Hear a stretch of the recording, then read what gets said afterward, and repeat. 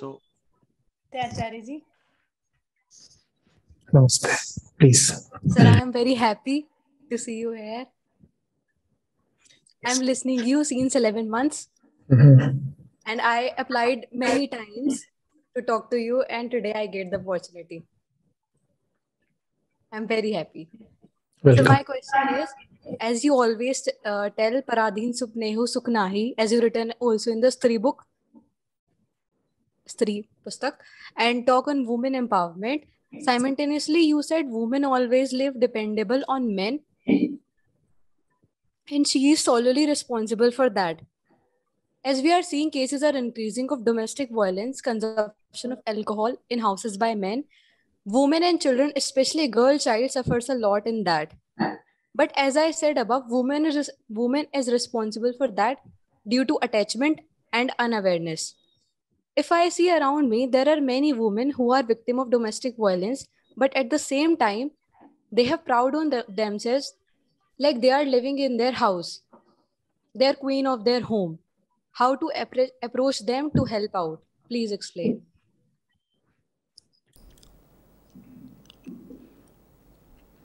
See, it's a question of uh, installed values. Hmm? Most people, men or women, just don't have an independent, original center. They do not have any original internal yardstick with which to measure the worth of things. So, then how do we accord value to things? How do we know what is valuable, what is not, what to be proud of, what to be ashamed of?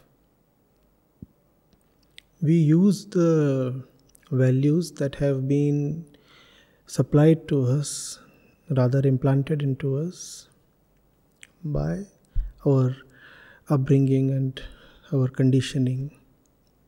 Hmm? That's a very dead process. We do not know what is respectable, we do not know what is valuable, but because we have seen others respect something, we have been told that that particular thing is valuable. So we not only start according value to that thing, we actually begin to feel as if by having that thing,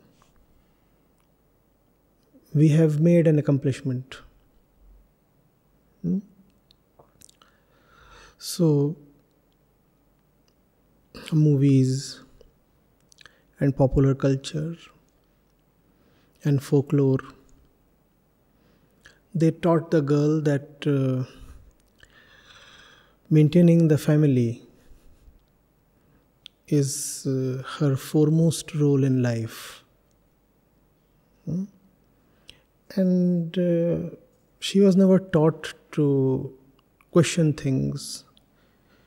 She was never taught to not accept anything without understanding it. These values were not given to her. What was the value given to her? Whatever is given to you, just take it. Hmm?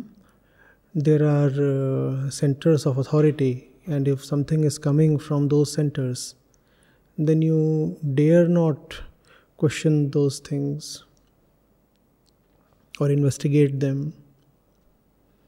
You're just supposed to blindly take them in. So the girl kept on imbibing those things. Hmm? So, this value is very deeply ingrained in the Indian society. It exists all across the world, but in India, it is uh, especially very powerful. That the woman is the axis of the family. And not only is she the axis of the family, hmm, she is also supposed to be the axis of the family. When we say the woman is the axis of the family, we are trying to narrate a fact, right? A fact can be questioned, a fact can be investigated. And when we say she is also supposed to be the uh, center of the family, she, her, her primary job in life is to run the household. The moment you say this is what she is supposed to do, now you cannot even question it. Hmm? How is she supposed to do this? This nobody asks. Nobody asks. Who told you this? Even this nobody asks. It is taken as some divine axiom entrusted to man by the skies. The woman shall raise the family. The woman shall run the household. I was in a very prestigious institution of medical sciences recently, in fact, this very month. And uh, the occasion was uh, Women's Day. And as I was talking about uh, the liberation of women, it came from one of the young women in the audience. रोटी कौन बनाएगा बच्चे कौन पालेगा these very words. And these words are not coming from some male chauvinist. They are coming from a woman and a young woman and a woman student in an institution of higher professional education. That's where this is coming from. Irrespective of uh, your, your station in life, irrespective of your professional qualifications, it's been drilled very deeply into Indian women that their life is first and foremost about the husband, the kids, the bed, and the meals. Hmm? Roti kaun banayega? Who will do the meals? Right? So, घर का काम कौन करेगा? Who will take care of the household chores?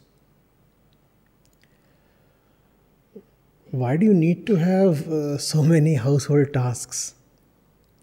What is this household for? Do you exist for the house or does the house exist for you? Hmm?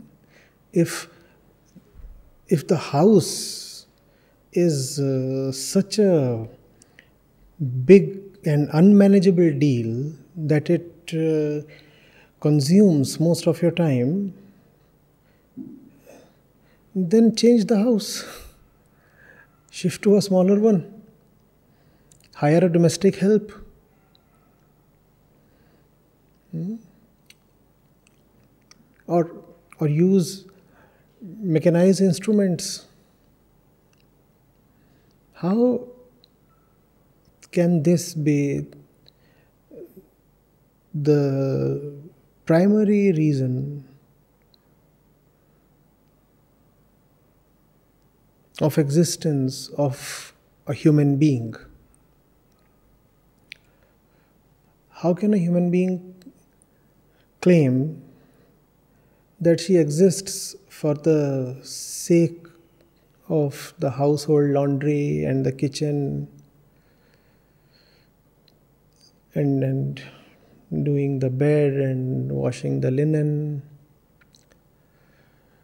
and raising kids and making life comfortable for the husband and the in laws. Isn't it all very nauseating? We are talking of a human being, right? It's incidental that the human being is a woman. We are talking about a conscious human being. How can a human being exist for this purpose? What do you mean by being the queen of the home. What do you mean by that? The queen of the home? By what stretch of imagination is that shabby home of yours a kingdom? How dare you exalt yourself even in your imagination? Queen of the house, all that you are doing is more than 50% replaceable by a domestic help. And that's what you call as being a queen? In fact, that's what happens. As soon as a household becomes more prosperous, the work of the woman largely reduces you hire a cook, you start eating out. The washing purposes are outsourced to a laundry. Right? You get a maid or a couple of maids.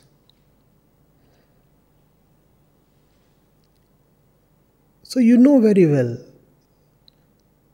that these things are very much non core activities. The worth of these activities is just a few thousand rupees. And had these activities not been worth just a few thousand rupees, how could you have transferred them to a domestic help so easily?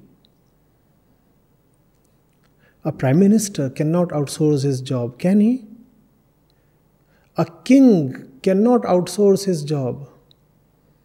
Equally, a queen ideally should not be able to outsource or transfer or hand over her tasks to somebody else. But we see that happening daily. The moment that queen gets some money on her hand, immediately all her queenly tasks are dumped on somebody else. So it's just that uh, we deceive ourselves. We live very lowly lives. And then to justify that lowliness to ourselves, we use such uh, decorated phrases, queen of the house. And these are uh, not uh, words used by just women.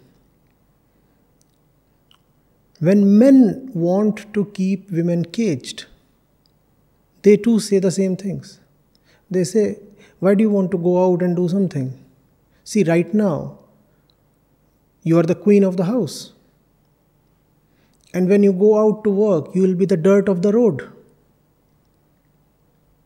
You know the kind of arguments that they give. They say, Suppose you have a diamond in your house, what will you do with it? Will you take it out on the streets? Will you ask your diamond to go out and do the shopping? No. You will just keep the diamond very, very safe in a nice, protected, clean and decent place. So, darling, you are the diamond of my house. You're not supposed to go out. Like the diamond, you're supposed to stay in. And a lot of women get taken in.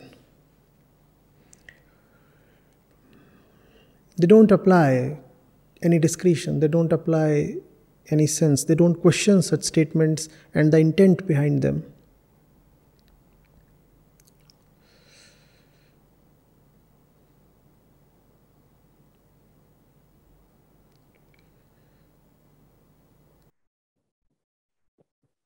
Sir, but I have one question. As I am seeing around me, there are girls, they are having opportunity, like they are having education, but instead of uh, setting a aim for them, they are what they are doing, making reels for Instagram, just uh, putting all their time on their body like how i am looking and what to wear today what to wear tomorrow what to wear um, one month after all their attention going to body they are getting equally equal opportunity of studying labs like i am a science student.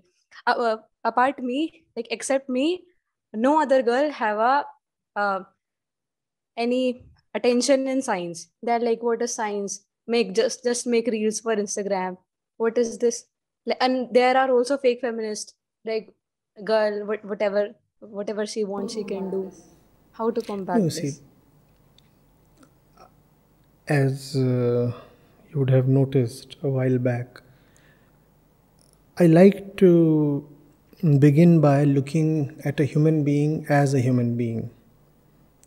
The sex or the gender comes later.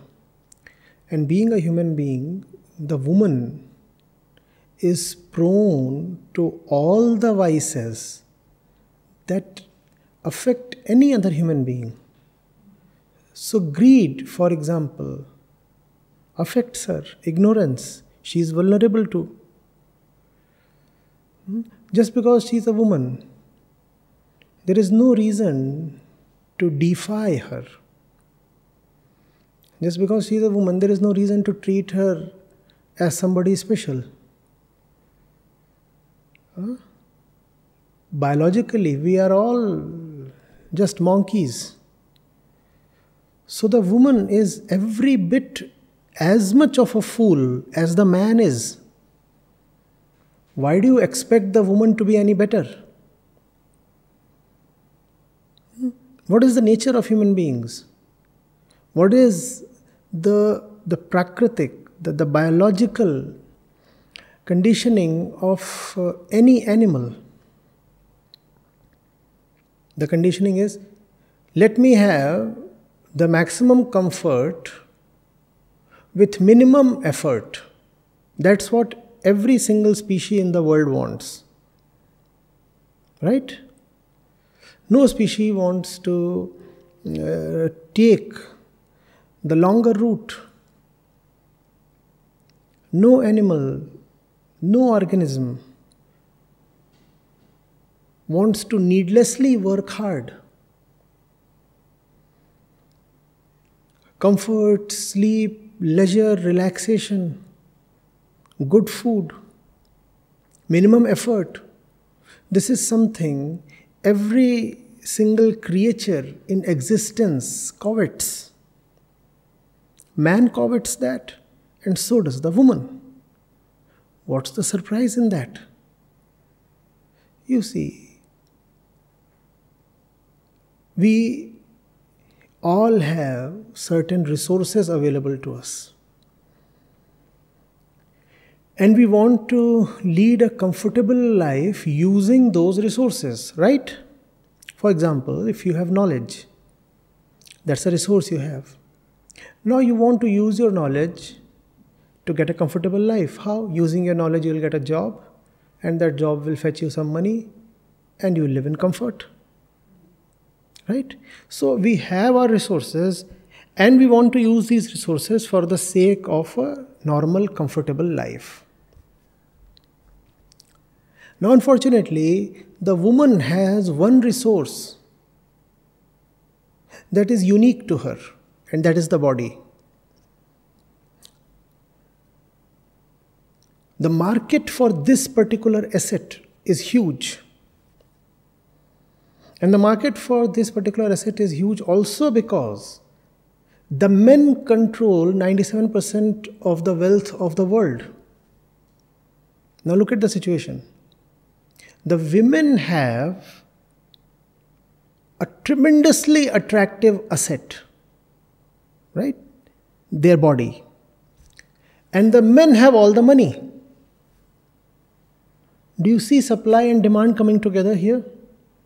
Low. You have a market. The moment there is demand, and when there is demand, then the one making the demand must have money to pay for the thing he demands. Men demand women's bodies and they also have all the money to pay for it. And the women have bodies, so there is the market. So there is a quick tendency then to have an easy life by just using the body. Why work hard in life? Why exert oneself to understand science and conduct experiments in the laboratory? Why take the long route? The short one is so easily available. You are young and the body is naturally attractive. You don't have to work too hard to make yourself sellable. So you just need to record a jazzy video bordering on erotica and uh, you will be paid for it in several ways, not necessarily in cash. Hmm? People will give you attention, you'll be noticed, and sooner than later, money too will follow. Are you getting it? So it's a normal human tendency. Do not take it as something specific to women. I'll, I'll uh, explain this through an example. Let's say there is a country where the women control all the money. Hmm? Where the women control all the money. In that country, you will find a lot of men demonstrating their sculpted bodies. The reason is obvious. Right? they are demonstrating their bodies to very, very able buyers. The buyers have a lot of money.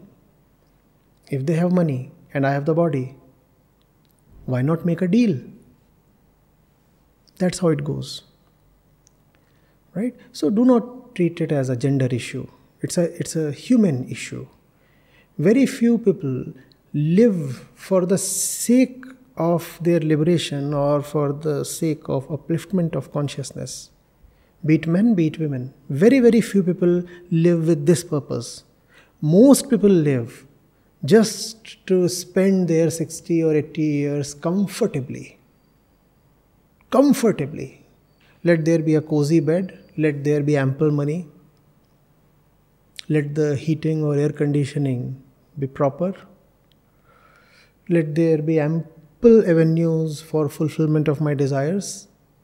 And I'll ask for nothing more. That's the maximum I can ask for. That's what most people live for. Hmm?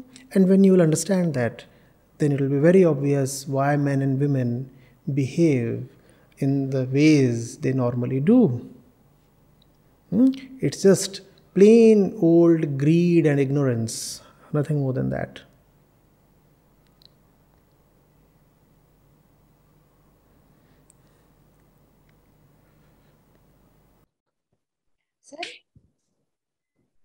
as you said like they have inherited centers so how as i am a person but uh, since uh, my birth like uh, the childhood days i i have another kind of uh, aura around me like another kind of environment around me always be alone. Like i have interest in space. So that's why my personality is somewhat different from other girls. So as a person what things you suggest me to make my that center strong which you are talking that center about. is the center that of consciousness huh? the center of understanding. Consciousness seeks to understand. The body seeks to sleep hmm? the body needs comfortable sleep in that sense the body favors lack of consciousness Hmm? So, how do you nourish your center of consciousness? Deepen your understanding. So that's what your consciousness, your, your mind really craves for to know, to understand. Hmm? And this craving can also be called as love. So, consciousness loves, consciousness understands, and consciousness loves to understand. Hmm? So, love and understanding go together. So, give yourself opportunities to engage in discussions. Give yourself the courage to question things and not accept them uh, blindly. Don't let people just mm, hand over things to you. Right? Seek company where open uh, debate and rational discussions are favored over uh, emotional bonds. Between reason and emotion, try to choose reason as much as possible. Hmm? And read and read and read. Without knowledge, understanding is a far cry. Though knowledge is not understanding, but knowledge aids understanding. Hmm? So read, sit with knowledgeable people, ask as much as you can. Even when you are alone, keep meditating. No, not that usual kind of meditation. When I say meditating, I mean very, very deep thought, deep and honest thought. Hmm? So let that process be continuous within you, just as the breath is continuous to the body. Right? The body is all the time busy doing its own thing. No? The heart is beating, the lungs are breathing. The mind too should be all the time busy doing its own thing. Otherwise, the body will win because the body works incessantly. But consciousness does not work incessantly for its liberation, therefore, the body wins. The one who will work continuously will obviously have an edge, no? So, the mind should also be constantly thinking about reality. Hmm? Wherever you are, uh, whatsoever is the occasion, you should always have an eye rather both the eyes on truth. Hmm? Don't let yourself get carried away by all the stuff that happens in our daily lives. Always remain attentive. That's a beautiful word, no? Attention. Hmm? And that's very uh, close to love. I love to know. I love to attend to the truth and that will give you a blossomed personality and a great life.